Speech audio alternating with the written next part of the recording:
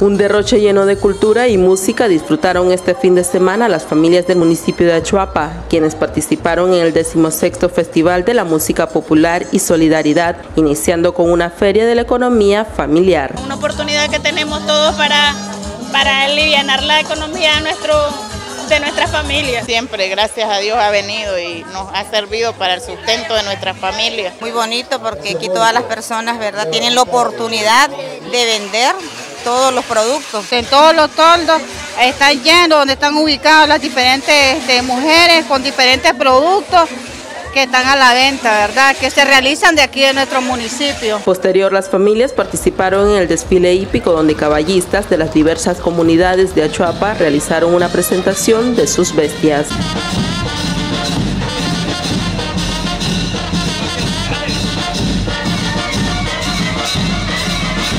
Es un municipio muy pequeño y se está desarrollando algo muy importante que es el caballo más acá afuera en, el campo que se usa mucho lo que es el caballo.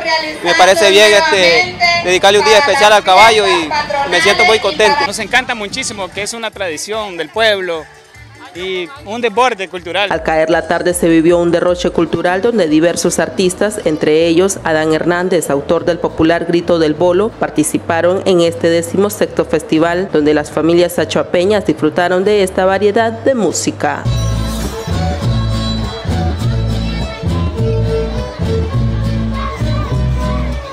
Siempre participo aquí porque yo se va a leer pues me gusta que haya alegría en la cultura. Es un evento muy lindo aquí.